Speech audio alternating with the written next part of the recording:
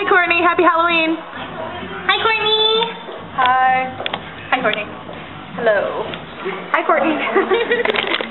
Hi, Courtney.